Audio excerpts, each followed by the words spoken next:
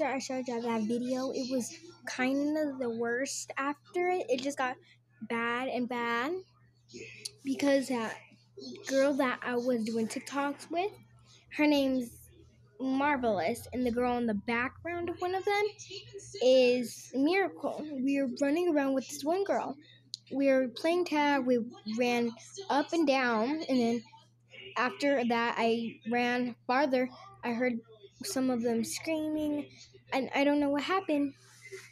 So then after that, I went to go see that girl, Marvelous. She sprained her leg, broke her leg. People are saying that miracle in the background, she pushed her down the stairs. But yeah, worst night ever than that.